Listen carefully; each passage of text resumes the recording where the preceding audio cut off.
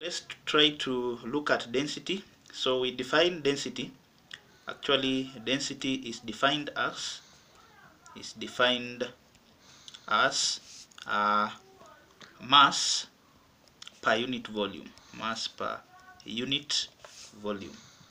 Density is defined as the mass per unit volume. Now per in mathematics means actually uh, division so that means we can express the density of a substance mathematically as density is equals to mass per means division per unit what? Volume. So divide by volume. Mass per unit volume. Now remember the SI unit for mass is actually the kilogram. The, the SI unit for volume is cubic meter.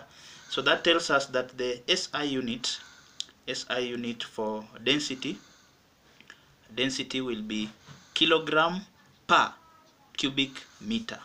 Kilogram kilogram per cubic cubic meter.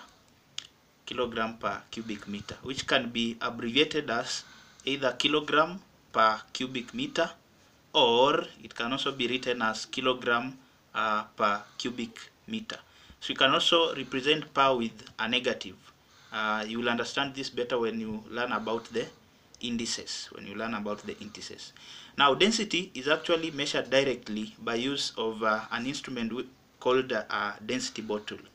A density uh, bottle. This is the instrument that we use to measure density of a substance directly. Now we can look at a few examples involving how to calculate the density of a substance. So example one here we have a block of glass of mass. So mass of the block mass of the block we are given as uh, 187.5 grams. Is 5 centimeters long 2 centimeters thick and 7.5 centimeters high. So this can help us to find the uh, volume. So volume of the block will be equal to length times width times height which is equals to our length is uh, 5 centimeter our width is uh, 2 centimeter and our height is 7.5 centimeters.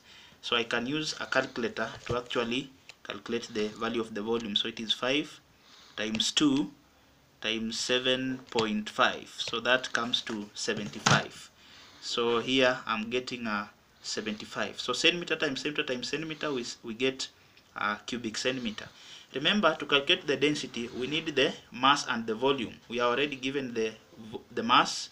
We have also calculated the volume so we are saying that density of, a, of the block will be equal to mass of the block over volume of the block the volume of the block which is equals to mass of the block is 187.5 grams over volume of the block is uh, 75 cubic centimeters. So I can use a calculator to find uh, the density of the block. So density of the block will be actually uh, 187.5 divided by 75 so this one comes to 2.5 2.5 uh, uh, so it is grams per cubic centimeter. Grams per cubic centimeter. But the question wants us to calculate the density of the glass block in kilogram per cubic meter. So remember that actually uh, 1 gram per cubic centimeter is equals to uh, a thousand kilogram per cubic meter. This is a unit that students should also take note of. Do not confuse with a, a thousand uh, grams is equals to one kilogram. For density, we use this conversion. One gram per cubic centimeter is equals to a thousand kilogram per cubic meter. So what about 2.5 grams per cubic centimeters? So this will be divided by 1 gram per cubic centimeter times a thousand kilogram per cubic meter. So this will be equal to kilogram per cubic meter. Uh, gram per cubic meter will cancel off, so we remain with the one zero. We'll remove move the decimal so that we have 25 uh, zero zero kilogram per cubic meter. So that is how to solve such. We also have example 2 here which reads the density of concentrated sulfuric acid is this. So in this case we are given the density as 1.8 uh, grams per cubic centimeter. Uh, we can also write that one uh, this way. Calculate the volume calculate the volume of 3.1 so this is mass because it is in kilogram. So mass is 3.1 kilogram. So they want us to find the volume. So remember density is equals to mass over volume. So if we want volume we can make it the subject of the formula times volume times volume so that this one cancels. Then uh, volume times density is equals to mass. So I divide by density divide by density so that volume is equals to uh, mass over density. Volume is equals to mass over density. So this will be equal to the volume we are given as uh, uh, so the mass we are given the mass is 3.1 kg then density is 1.8 kg but the, this one is in kilogram this one is in gram per cubic centimeter. So it means we actually convert this one into kilogram per uh, cubic meter for the units to rhyme or alternatively we can convert this one into gram. So for my case let me convert the 3.1 kilogram into grams. So actually the mass is uh, uh, 3.1 kilogram. So remember a thousand grams is equals to one kilogram.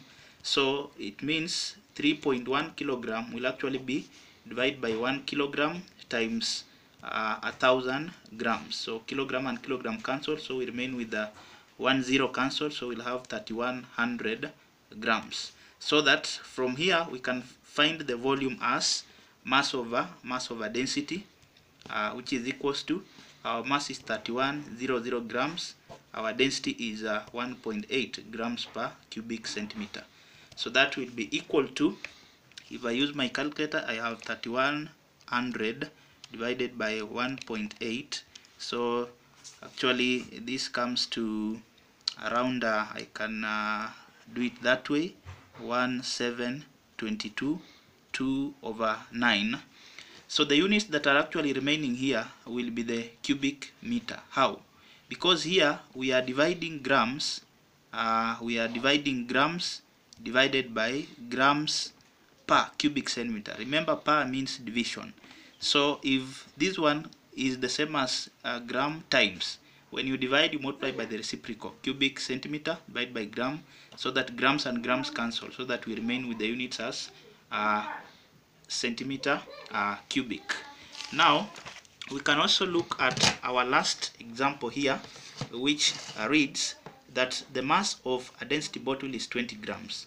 So mass of the density bottle uh, density bottle is given as uh, 20 grams when empty. So mass of empty empty empty uh, density bottle and 45 grams when filled with water. So this is mass of the uh, empty bottle actually the bottle but filled with water. Plus water its mass is 45 grams then when filled with mercury so mass of the bottle plus mercury when filled with mercury uh, will be equal to 360 grams. So you are required to calculate the density of mercury given that the density of water is this. So remember sometimes you, you may not be given the density of water. So if you are not given the density of water you assume it is 1 gram per cubic centimeter because that is the value of density of uh, fresh water so we can start by first of all if they want density of mercury remember density of mercury uh, will be equal to the mass of mercury over volume of mercury volume of mercury. So that means we need to calculate the mass of mercury and the volume of mercury. But we cannot get the volume of mercury without finding the volume of water.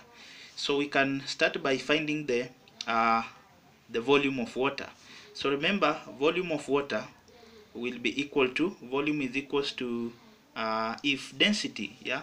If density is equals to mass over volume then that means volume will be equal to uh, mass over density. So this is a mass of water actually over density of water. So when the bottle is filled with uh, uh, when it is empty it is 20 grams.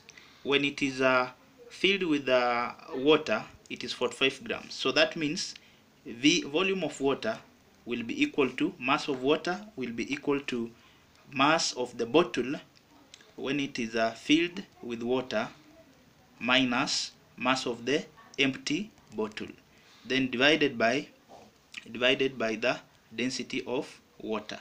So that will be equal to mass of the bottle when filled with water. It is actually 45 grams minus mass of the empty bottle is 20 grams divided by density of water. Remember we are given as 1 gram per cubic centimeter. So this actually comes to uh, 45 minus 20. I think we get uh, 25. Yes. So we get 25 grams divided by 1 gram per cubic centimeter. So this will come to 25 cubic uh, centimeter. But remember, since the water was filled, uh, they are saying that the mass of empty bottle is 20 when filled with uh, water. Since water and mercury were filled in the same same bottle, it means they occupied the same space. And remember, the amount of space occupied by a body is what we are referring to as the volume. So that means that volume of water will be equal to the volume of mercury because they were filled in the same same empty density bottle. So they filled the same space, which is equals to actually 25 uh, cubic centimeter. So remember, our we are calculating the uh, our main aim is to find the uh, density of mercury. So we have the volume of mercury. Now we need the mass of mercury. So mass of mercury, mass of mercury will be equal to mass of the empty bottle uh, filled with mercury, mercury uh, minus the mass of empty density bottle, which is equals to when filled with mercury it was actually 360 grams. When it was empty it was 20 grams. So that comes to uh, 360 minus 20. So you actually get 340 grams. So that the density of mercury, the density of mercury will be equal to uh, mass of mercury. Mass of mercury is 340 grams divided by volume of mercury. Uh, volume of mercury is equals to volume of water, which is equals to 25 cubic centimeter. So that gives us uh, 340 divided by 25. We actually get uh, 13.6 uh, grams per cubic centimeter. Grams per cubic centimeter. It can also be written as 13.6 grams uh, per cubic centimeter. Remember, you can also be asked to express this one in kilogram per cubic meter.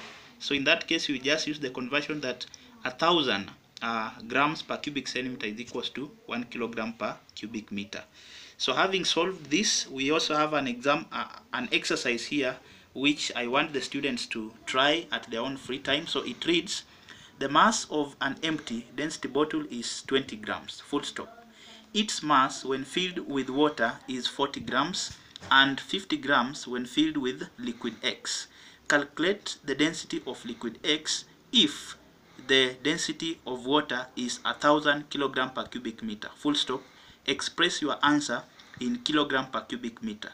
So the answer here I've calculated and found that the answer is 1500 kilogram per cubic meter. So